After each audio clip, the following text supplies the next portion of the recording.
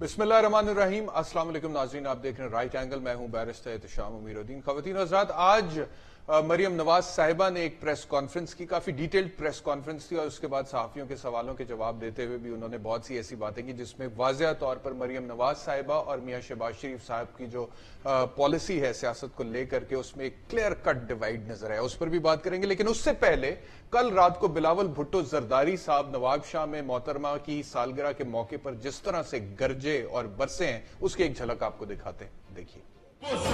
بے غیرت ہی عورتوں اور بزرگوں کو نشانہ بناتے ہیں۔ خان صاحب، تم اتنا ہی کرو جتنا خود برداشت کر سکتے ہو۔ تم ستر سال کے پورے ہو۔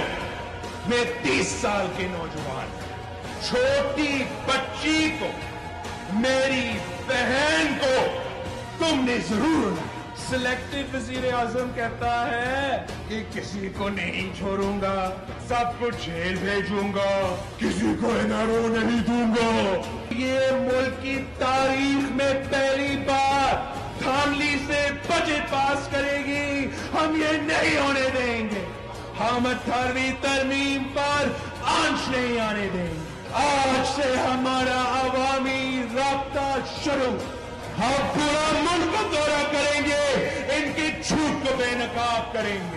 نہ کھپے، نیا پاکستان، نہ کھپے۔ تیازی کا پاکستان، نہ کھپے۔ کھپے کھپے، پاکستان کھپے۔ جی آپ نے سنا بلاول کہہ رہے تھے، نہ کھپے نیا پاکستان، نہ کھپے کھپے کھپے پاکستان، کھپے، اور آج سے عوامی رابطہ مہم ہم شروع کریں گے۔ وہ بات جس کا ذکر پہلے بھی کیا جا رہا تھا۔ اس سے پہلے کہ مریم نواز نے آج کیا کہا اپنی پریس کانفرنس میں، شہباز شریف صاحب نے کیا پیشکش کی تھی اپوزیشن کی طرف سے، حکومت کو مساک معیشت کی، یہ ذرا سن لیں۔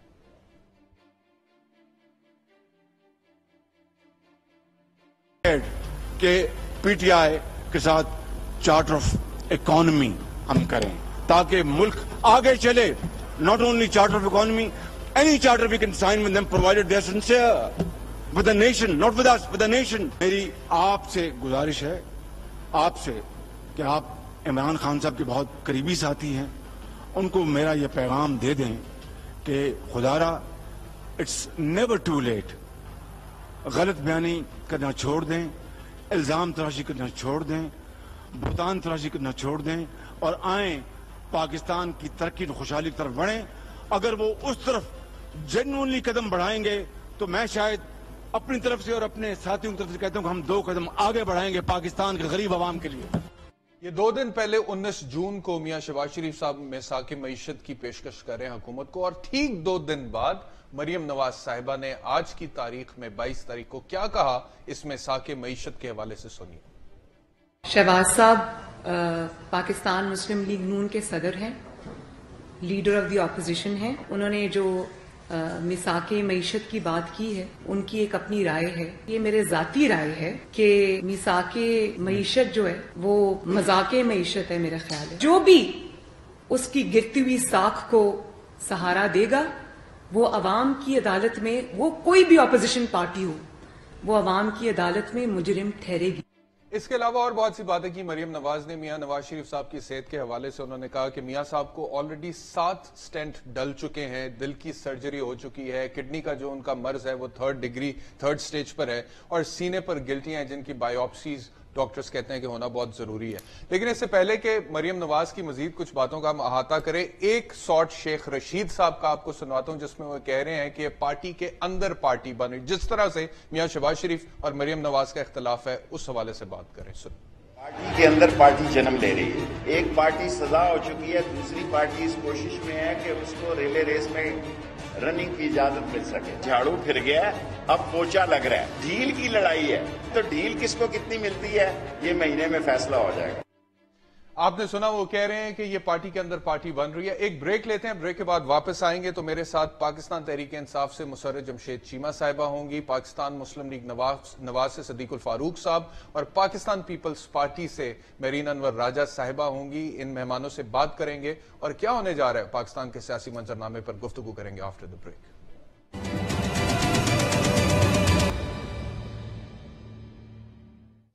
جی ویلکم بیک مہمانوں نے مجھے جوائن کر لیا مہرین انور راجہ صاحبہ ڈی ایس این جی پر ہمارے ساتھ ہیں۔ مسرت جمشید چیمہ صاحبہ لاہور اسٹوڈیوز میں ہمارے ساتھ ہیں۔ مہرین انور راجہ صاحبہ، آپ سے شروع کروں گا۔ بریک سے پہلے میں نے کچھ سارٹ سنوائے۔ ایک بلاول بھٹو زرداری صاحب کا سارٹ تھا۔ کل رات کو بڑا گرجے برسے وہ اور انہوں نے کہا کہ اب ہم عوامی رابطہ مہم کا آغاز کرتے ہیں اور خان صاحب کو کچھ پرسنل باتیں بھی کہہ گئے، عمر کا تانا بھی دے گئے۔ دوسری سائڈ ہم نے دیکھا، کچھ دن پہلے زرداری صاحب جو تھے، انہوں نے پارلیمان میں کھڑے ہو کر جب پروڈکشن آرڈر ان کے جاری ہوئے تھے تو کہا تھا کہ حساب کتاب بند کریں اور ملک کو آگے لے کر چلیں۔ اور یہی صورتحال پاکستان مسلم لیگ نواز میں بھی ہے۔ شہباز شریف صاحب کہتے ہیں مساکے معیشت پر ہم آپ سے بات کرنے کے لیے تیار ہیں۔ مریم نواز صاحبہ نے اس کی نفی کر دی ہے۔ تو جہاں تک آپ کی پارٹی کا تعلق ہے کنفیوژن ہے زرداری صاحب اور بلاول صاحب کی سوچ مختلف ہے ایک دوسرے سے؟ بسم اللہ الرحمن الرحیم. اللہم صلی وسلم وبارک علی حبیبی کا المصطفیٰ ولا علیہ وسلم. جہاں تک پاکستان پیپلز پارٹی کا تعلق ہے، پاکستان پیپلز پارٹی ایک جھنڈے تلے اور جناب بلاول بھٹو صاحب کی جو گائیڈنس ہے، اور آصف علی زرداری صاحب کی جو گائیڈنس ہے، اس کے تلے ایک ہے۔ اور یہ جو بات کی جاتی ہے کنفیوژن کی، ایسی کوئی کنفیوژن نہیں ہے، دونوں نے ایک ہی بات کی ہے۔ اور وہ ایک ہی بات یہ ہے کہ عوام اس وقت بہت مشکل سے گزر رہے ہیں۔ لوگوں کے بزنس بند ہو چکے ہیں۔ مگر جو ایک بزنس چل رہا ہے وہ سلائی مشین علیمہ خان کا بزنس جو ہے اس میں سے اربوں کروڑوں روپے نکل رہے ہیں۔ بلاول بھٹو صاحب نے جو یہ بات کی ہے کہ عوامی رابطہ مہم کی جائے جی۔ ہم شروع کریں گے تو میں سمجھتی ہوں کہ اور عوام یہ سمجھتی ہے اور عوام یہ ڈیمانڈ کر رہی ہے کہ اس وقت جو اصل پار ہے اصل پار جو ہے وہ عوام کے پاس ہے اور جو پار عوام کے پاس ہے وہ جو نمائندے اس وقت بیٹھے ہوئے ہیں حکومت کے ان کے پاس نہیں ہے وہ عوام کی دیوی پاور نہیں ہے۔ اور جب زرداری صاحب یہ بات کرتے ہیں کہ حساب کتاب یہ پکڑ دکڑ حساب کتاب ضرور ہو۔ ہم پاکستان پیپلز پارٹی کہتی ہے کہ آئے آپ احتساب کریں مگر انتقامی کاروائیاں نہ کریں۔ انتقامی کاروائیوں سے جو اچھا آپ نے کہا میرین گا۔ صاحبہ آپ ٹیکس کی بات کر آپ نے کہا کہ دونوں نے ایک ہی بات کی ہے، لیکن دونوں کی باڈی لینگویج میں بڑا فرق ہے، دونوں جس قسم کی زبان استعمال کر رہے ہیں، اس میں بڑا فرق ہے، اور دونوں جو جو جو کہہ رہے ہیں، اس میں بڑا فرق ہے۔ زرداری صاحب جو ہے افام و تفہیم کی بات کر رہے ہیں، وہ ریکنسلیشن کی بات کر رہے ہیں، وہ حساب کتاب بند کر کے ملک کو آگے لے کے جانے کی بات کر رہے ہیں۔ بلاول صاحب تو کہہ رہے ہیں، میں عوامی رابطہ مہم سٹارٹ کر رہا ہوں اور اس حکومت کو گراؤں گا۔ تو بڑا فرق ہے دونوں باتوں میں۔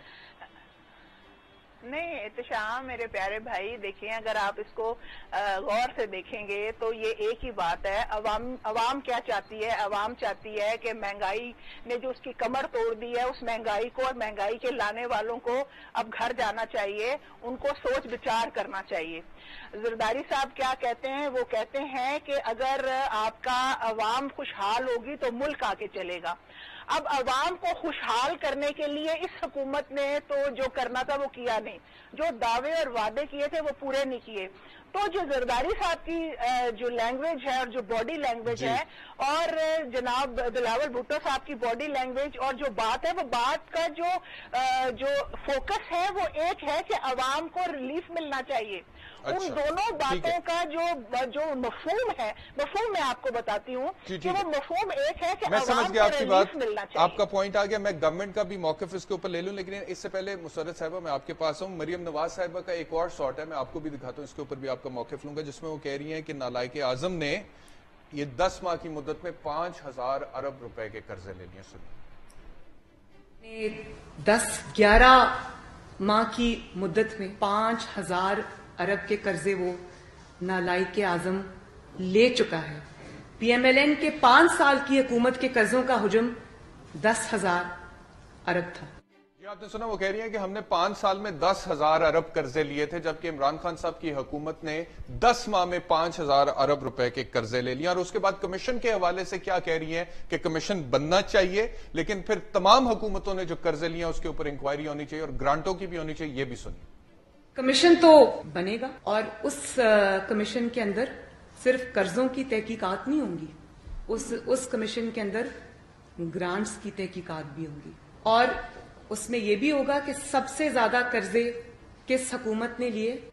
جی مسرت صاحبہ، آپ نے یہ دونوں باتیں سنی۔ اپوزیشن کا جہاں تک تعلق ہے، ایک ویلڈ کوشچن ہے کہ جو ان کی منجی ہوئی لیڈرشپ ہے جس میں زرداری صاحب آتے ہیں شباز شریف صاحب آتے ہیں ان سے ان, ان کا موقف ایک ہے اور بلاول صاحب کا اور مریم صاحبہ کا موقف دوسرا ہے اور اس حوالے سے ہم نے ان سے سوال بھی کیا ہے پی ایم ایل این سے بھی کریں گے۔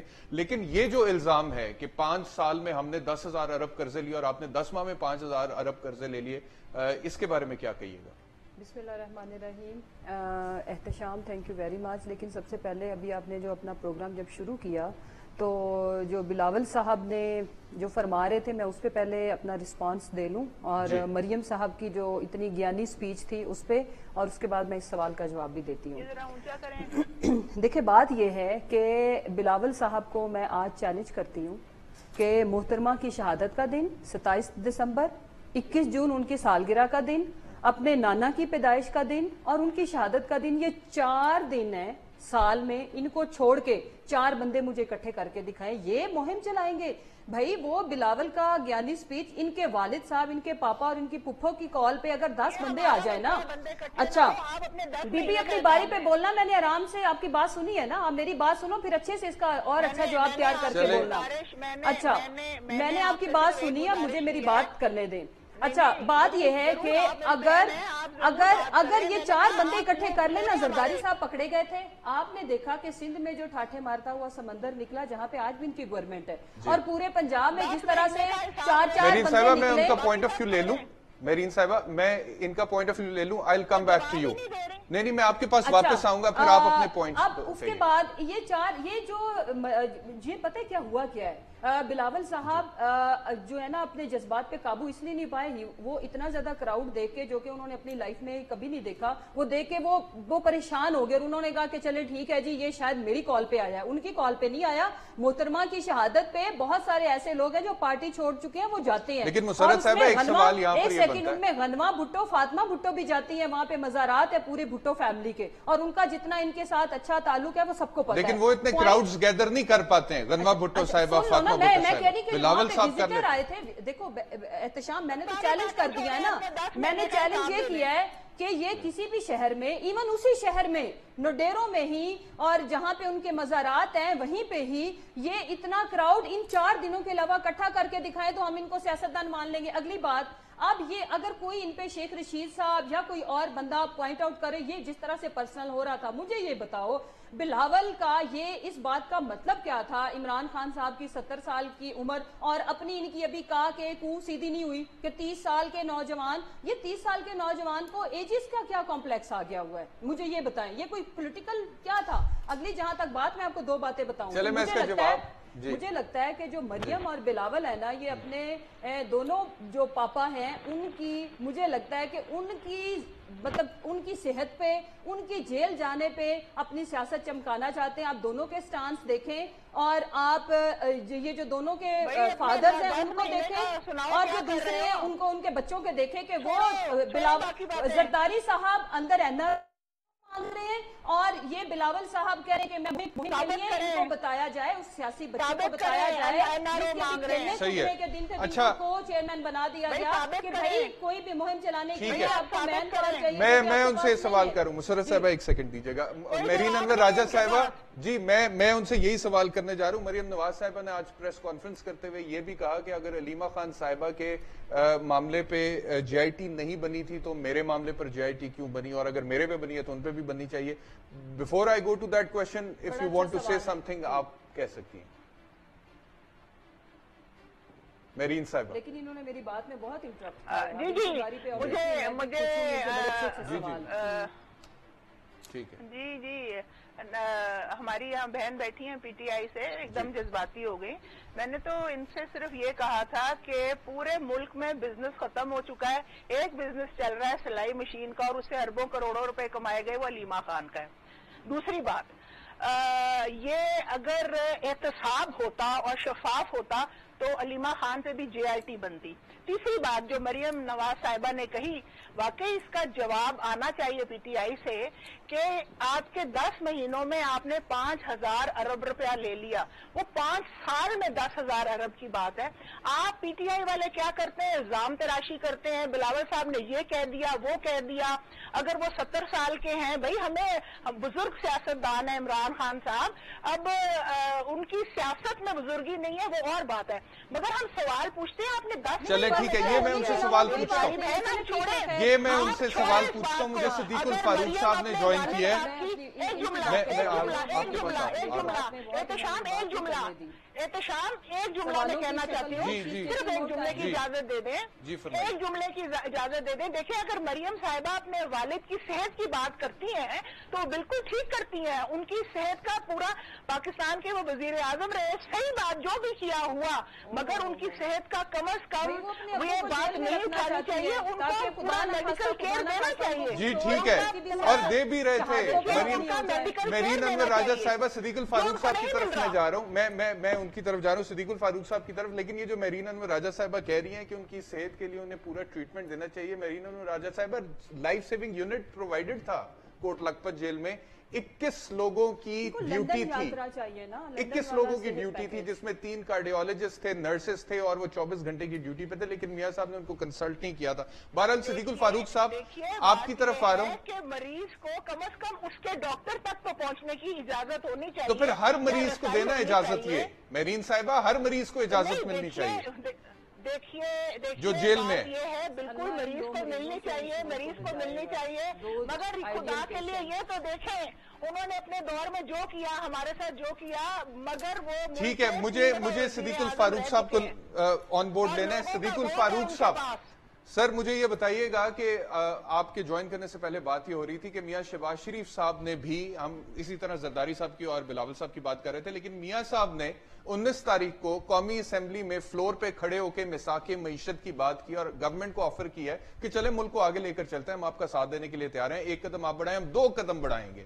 لیکن مریم نواز صاحبہ نے آج کہہ دیا کہ یہ مساق معیشت نہیں، یہ مزاق معیشت ہوگا اور جو بھی اس کا حصہ بنے گا وہ عوامی مجرم ہوگا یعنی کہ دوسرے الفاظ میں کیا مریم نواز صاحبہ میاں شباز شریف صاحب کو عوامی مجرم کہہ رہی ہے؟ تو یہ اتنی بڑی کنفیوژن اس کا مطلب ہے کہ ڈویژن ہے آپ کی پارٹی میں؟ بسم اللہ الرحمن الرحیم۔ بہت شکریہ بیرسٹر صاحب۔ سیاست میں، حالات میں چوبیس گھنٹے کیا بارہ گھنٹوں میں تبدیلیاں آ جاتی ہیں۔ یہ پیشکش جو معاش معاش معیشت پر اتفاق رائے کی چل رہی ہے یہ تو بہت عرصے سے چل رہی تھی۔ جی۔ اور اس پہ عمران خان صاحب نہیں آ رہے تھے۔ ہم عمران خان کی حکومت کو ایک امپوزڈ گورنمنٹ سمجھتے ہیں۔ اور حقائق بتا رہے ہیں کہ یہ فارم فارٹی فائیو جعلی کی یہ پیداوار ہیں۔ کنفرم کیا ہے الیکشن کمیشن نے کہ ninety five percent form forty five پہ پولنگ ایجنٹس کے دستخط ہی نہیں ہے تو پھر یہ کیا ہے؟ یہ یہ بات یہ حقائق ہیں۔ اب اس پہ پھر بھی گیارہ مہینے کیونکہ یہ جولائی میں جب معاملہ سامنے آ گیا انہوں نے تقریر کی وکٹری اسپیچ جی۔ اس کے بعد سے معاملات تقریباً ان کے ہاتھ میں آ گئے تھے۔ جی۔ تو اب اس لحاظ سے تو گیارہ مہینوں گیارہ مہینوں میں انہوں نے کون سی کامیابی کی ہے؟ مثالیں میں تھوڑا سا مجھے ٹائم دے چونکہ میں تو ٹریفک میں پھنسنے کی وجہ سے لیٹ ہو گیا۔ آپ یہ دیکھیے کہ مثال دیتے ہیں ایک ملک ہالینڈ کے وزیر اعظم کی سائیکل پہ دفتر جانے کی۔ تو کیا سائیکل پہ خود گئے ہیں دفتر؟ نہیں گئے ہیں لیکن کیا آپ کے وزیر اعظم کتنے انہوں نے وعدے کیے؟ نہیں میرے وزیر اعظم نے کہا بھی نہیں۔ جی۔ جو بات جس آدمی نے دعویٰ کیا ہے اس کے اس اپنے اس عمل کے اور قول و فعل کے آئینے میں ہم اسے دیکھیں گے نا۔ جتنی باتیں انہوں نے اپوزیشن کے دور میں کی کیا ان میں سے ایک بات پر وہ پورے اترے ان گیارہ مہینوں میں نہیں اترے۔ معاشی میدان میں وہ ناکام ہے بدترین ڈالر ایک سو اٹھاون روپے کا ہوگا یہ روز ہم بحث کرتے ہیں۔ ٹھیک ہے۔ اچھا مجھے مجھے صرف ایک سوال کا جواب دے دیں پھر مجھے بریک لینی میں واپس آؤں گا آپ کے سوال کا جواب دے رہا ہوں۔ جی، جی، میں براہ راست آپ کے سوال کا جواب دینے جی۔ لگا ہوں۔ کہ میسا کے معیشت ہوگا ان لوگوں کے ساتھ جو معیشت کو جانتے ہیں۔ جو معیشت کے ساتھ مذاق کر رہے ہیں۔ ایسٹس کے حوالے سے میں آج اپنے ایسٹس کے حوالے سے میں نے کہا ذرا دیکھوں۔ میں تو فائلر ہوں۔ میں تو ٹیکس دیتا ہوں۔ ذرا دیکھوں کیا ہے۔ وہاں پانچ سو روپے دیں تو اب آپ کو ایکسس ملے گا مجھے اب بتا دیں اچھا، کہ پاکستان مسلم لیگ نواز کا آفیشل موقف کیا ہے؟ آپ کا افیشل موقف کیا مساک معیشت ہونا چاہیے حکومت کے ساتھ جیسا کہ میاں شباز شریف کہہ رہے ہیں یا نہیں ہونا چاہیے جیسے کہ مریم نواز صاحبہ کہہ رہی ہیں۔ میں یہ کہتا ہوں کہ جو بات مریم صاحبہ نے کی ہے اور جو بات شہباز شریف صاحب نے کی ہے ان سب کو اجتماعی طور پر دیکھیں اور پورے ملک کے اس ریاست پاکستان کے جو مفادات ہیں ان پر ایک اتفاق رائے یہ ایک بڑی اچھی بات کی مجھے ایک بریک پر جانا ہے کہ ریاست پاکستان کے مفاد کو دیکھیں نہ کہ اپنے سیاست کے مفادات کو دیکھیں۔ یہ ایک اچھی بات ہے اور یہ سیاستدانوں کو سمجھنی چاہیے بریک کے بعد واپس آتے ہیں۔ ویلکم بیک فواد چوہی صاحب کا ایک بڑا دلچسپ ٹویٹ ابھی میری نظر سے گزرا ہے وہ کہتے ہیں جی کہ مریم بی بی کی پوری پریس کانفرنس سن کر میں اس نتیجے پر پہنچا ہوں کہ نواز شریف صاحب کو صحت انصاف کارڈ کی سہولت دی جائے یہ فواد شاہی صاحب کا ٹویٹ ہے اچھا دوسرا ایک مریم نواز صاحبہ کا شارٹ سنواتا ہوں آپ کو جس میں وہ کہہ رہی ہیں کہ اگر مریم نواز کے حوالے سے جی آئی ٹی بن سکتی ہے تو علیمہ خان کے حوالے سے کیوں نہیں بن سکتی سنی علیمہ خان صاحبہ کا سورس آف انکم کیا ہے مریم نواز کے لیے جی آئی ٹی بن سکتی ہے وہ آئی ایس آئی اور ایم آئی کے سامنے پیش ہو سکتی ہے۔ مسرت جمشید شیما صاحبہ آپ سے ڈائریکٹ سوال ہے۔ کیا جواب ہے اس کا؟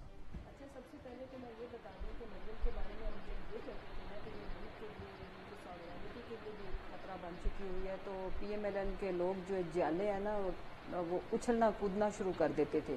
اور آج اگر مریم کسی کے لیے سب سے بڑا خطرہ ہے تو وہ پی ایم ایل ایم خود۔ اور جس طرح سے اس عورت نے اپنی مطلب میں کیا کہوں کہ اپنی ذاتی سیاست کو چمکانے کے لیے، اپنے پرسنل انٹرسٹ کے لیے اس اتنی بڑی سیاسی جماعت کو تباہ و برباد کیا۔ اس کے بعد اپنے خاندان کو تباہ و برباد کیا۔ اور آج یہ میں بالکل بڑی ذمہ داری کے ساتھ کہہ رہی ہوں کہ یہ اپنے باپ کی صحت اور ان کی زندگی کے پیچھے ہاتھ دھو کے پیچھے پڑی ہوئی ہے۔ اور یہ ان کی زندگی پہ اور ان کی صحت پہ سیاست چمکاری کبھی اس کبھی اس طرح بھی سیاست بنی ہے۔ کبھی اس طرح بھی کوئی بڑا سیاستدان بنا ہے۔ اس کے پاس کہنے سننے کو ہے کیا؟ یہ کن کے ساتھ اپنا کمپیریزن اپنی کن سے کمپیریزن بی بی آپ جو مرضی کہتے ہیں میں اپنے ساتھ سے بولوں گی۔ میں آ رہا ہوں آپ کی طرف۔ اچھا اب اس کے بعد یہ جس طرح سے آکے پریس کانفرنس سر ہلا ہلا کے کرتی ہے لے دے کے ابھی تک یہ اپنے چاچو کی وجہ سے ہی میرا خیال ہے کہ وہ پھر بھی کوئی نہ کوئی جی آئی ٹی کا آئی ٹی کا جو سوال ہے۔ جی آئی ٹی والا جو سوال ہے اس سوالے سے اس کی وجہ یہ ہے کہ علیمہ کبھی پاور میں نہیں رہی؟ علیمہ خان کے بھائی جب پرائم منسٹر بنے ہیں تو تب ان, ان کا یہ یہ چیزیں جس طرح سے یہ یہ ان کے سلائی مشینوں کا ذکر کر کے ان کو لگتا ہے کہ کرپشن چھپ جائے گی تو یہ ان کی بہت دور اندیشی ہے۔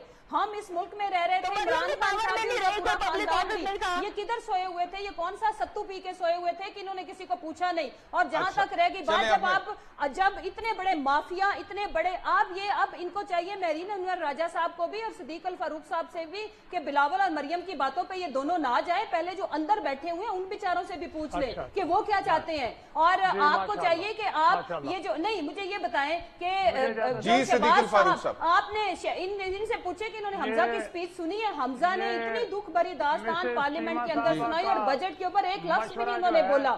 جہاں تک رہے گی بات جے جی، آئی ٹی ایک سکتے میری میری ابھی بات میرے پاس وقت لیمیٹڈ ہے۔ میں صرف آخری بات کر رہوں کہ پبلک کو بہت اچھے سے پتا ہے کہ جے آئی ٹی ان پہ بنی ہے جنہوں نے کرپشن کی ہے۔ باقی یہ میرا جس کا مرضی نام سلائی سینٹر چمڑے کے کاروبار بھول گئے جن کے اپنے پورے پورے سلائی سینٹر نکل آئے وہ سلائی مشینوں کا ذکر کر کے چلیں ٹھیک ہے۔ جی جی جی صدیق الفاروق ہمارے پاس کوئی جواب نہیں میں یہ کہوں گا کہ چیما صاحبہ جب آپ زرداری کو ڈیفینڈ کر سکتی ہیں نا تو ہمارے پاس تو ہر بات کا جواب ہے۔ اب آپ آ جائیے۔ وہ آدمی عمران خان جس کا اپنا مکان غیر قانونی زرداری کو ڈیفینڈ کرنے والے مجھ سے پوچھ رہے ہیں۔ وہ عمران خان جس نے کالا دھن اپنا دو ہزار دو مشرف کی سکیم میں سفید کرایا۔ وہ پرویز وہ عمران خان جس پر ہیلی کاپٹر کا ریفرنس ہے اور وہ ملزم ہے۔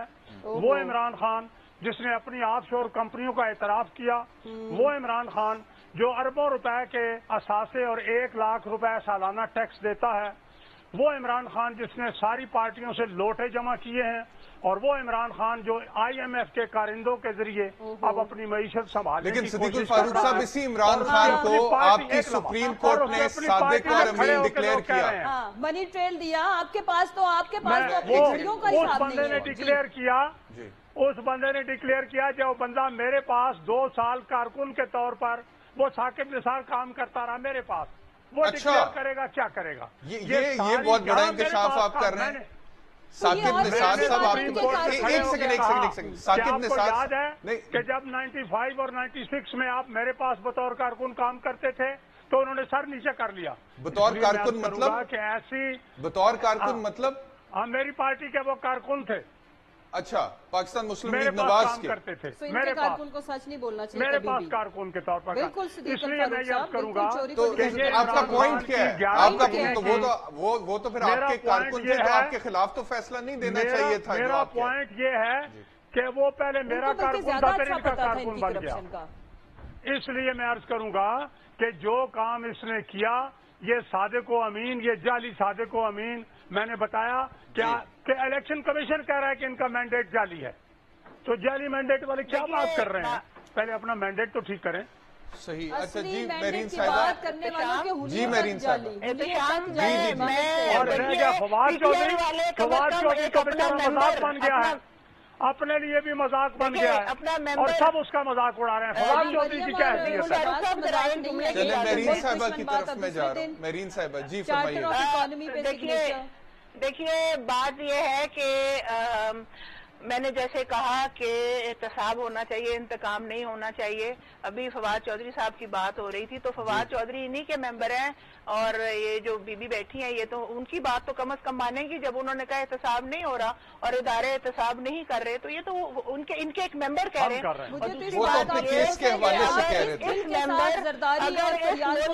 خاموش رہو بی بی خاموش رہو خاموش رہو خاموش رہو خاموش رہو۔ صاحب نے جو اٹھارہویں ترمیم جی۔ تھی وہ لے کے آئے تھے۔ آپ اچھا، اچھا، میں صرف ہیں آپ کہنا چاہتی ہیں کہ عمران خان نشہ نہیں کرتا۔ آپ حلف اٹھاتی ہیں کہ عمران خان کی بیٹی باہر نہیں ہے۔ آپ حلف اٹھاتی ہیں کہ عمران کے بیٹے باہر نہیں پل رہے۔ ہیں آپ حلف اٹھائیں آپ تو بات ہی نہ کرو نا آپ تو بات ہی نہ کرو۔ آپ اپنے وہ ببلو کو بولو کہ آگے اپنے والد آپ بات کریں؟ آپ اور آپ کے ملے اچھا میرا خیال ہے کہ حلف اٹھائیں دیکھیں ٹاپک پہ رہیے۔ میری آپ کی گزارش ہے ذاتی آپ سے نہ لیں ذاتیات پہ نہ جائیں ٹاپک پہ رہے۔ کرپشن پہ بندی ہے کرپشن پہ۔ نہیں نہیں پلیز آپ ایسا نہ کیجیے میرے لیے میرے سارے گیسٹ قابل احترام ہیں۔ میں مسرت صاحب آپ سے ریکویسٹ کروں گا ان کی بات جائے پھر میں واپس جی فرمائیے۔ آپ بولیے میرین صاحب آپ صاحب کے ساتھ جمشید تیمہ کو بھی عادت ہے دوسروں کی بات میں کرنا آپ ذاتی اٹیک نہ کریں جہاں تک جہاں تک اٹھانے کی۔ بات ہے تو ہماری یہ جو مسرت صاحبہ بیٹھی ہیں پھر یہ جو عمران خان صاحب کی صاحبزادی ترین ہے ان پہ بھی حلف اٹھائیں۔ حلف کی باتیں چھوڑیں۔ بات یہ کریں پانچ ہزار ارب روپیہ آپ سے مریم صاحبہ نے سوال پوچھے اس کا جواب دیں۔ بات یہ ہے کہ جے آئی ٹی کیوں نہیں بنی؟ علیمہ خان کی سلائی مشین پہ اس کا جواب دیں۔ جواب یہ ہے کہ آپ نے آگے پیسے قرضہ نہیں لینا آپ نے آگے پیسے قرضہ نہیں لینا اس کا جواب دیں آپ نے یہ پیسے قرضہ نہیں لینا مجھے ایک چیز کا بڑا افسوس ہو رہا ہے۔ مجھے ایک چیز کا بڑا افسوس ہو رہا ہے۔ ایک سیکنڈ ایک سیکنڈ ایک سیکنڈ۔ صدیق الفاروق صاحب مہرین صاحبہ مسرت صاحبہ مجھے ایک چیز کا ہمیشہ بڑا افسوس ہوتا ہے کہ جب ٹیلی ویژن پر ہم لوگ بیٹھتے ہیں پوری قوم ہمیں سن رہی ہوتی ہے۔ سر یہاں پر مسائل اتنے زیادہ ہیں۔ ایک عام پاکستانی کے روٹی کپڑا مکان تعلیم سے لے کر۔ ہم ذاتیات پر آ جاتے ہیں وہ یہ کر رہے ہیں وہ یہ کر رہے ہیں۔ مجھے یہ بتائیے کیا مسرت سیما نے ذاتی باتیں نہیں کی سیاست کی بات کریں۔ میں وہ آخری آدمی بھی نہیں ہوں گا جو بات پر بات کرے لیکن اصول میں رہے ایک دوسرے کی بات میں مداخلت نہ کریں آپ اپنے ہلکے کے لوگوں کو جا کے فیس کرتی ہیں؟ آپ اسی کو بولنے دیں۔ اس سے بہتر آپ ان کے ہسبینڈ کو بلا لیا کریں وہ زیادہ سین مائنڈ کے اور آپ نے اپنا ہسبینڈ کہاں بٹھایا ہوا ہے؟ بتائیں گی۔ اچھا چلیے میں اب میرے پاس وقت بالکل ختم ہو گیا۔ میرے پاس میرے پاس وقت بالکل ختم ہو گیا۔ پرویز صاحب بہت تھینک یو ویری مچ میں اپنے تینوں مہمانوں کا بڑا شکر گزار ہوں۔ اب جاتے جاتے میں صرف اتنا کہوں گا کہ آج کے پروگرام میں یہ جو ایک انکشاف کیا صدیق الفاروق صاحب نے ثاقب نثار صاحب کے حوالے سے یہ میرے لیے کم از کم بڑا سرپرائزنگ تھا۔ کل انشاءاللہ آپ سے دوبارہ ملاقات ہوگی اپنا خیال رکھیے۔ اللہ حافظ۔